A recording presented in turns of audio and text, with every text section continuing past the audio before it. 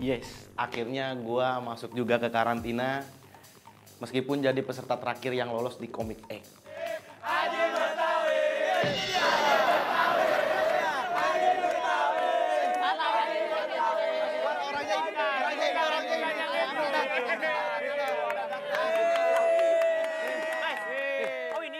itu.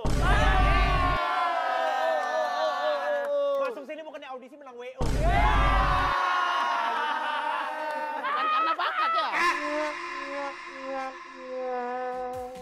Untuk saat ini gua sih cocok-cocok aja ya buat ngegantiin beta bukan karena beta ngundurin diri ya. Mungkin karena emang gua pantas aja ada di sini. Cuma Rosta Snack kentang panggang. Enaknya tanpa rasa bersalah. Enaknya ada Garuda.